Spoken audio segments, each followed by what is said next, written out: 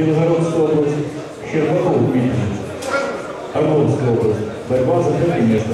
Александр Григорьевич, 66 килограммов. И приготовится Рада Ульна, Беляшкина. Готовится 57 килограмм Лаврова Булгакова.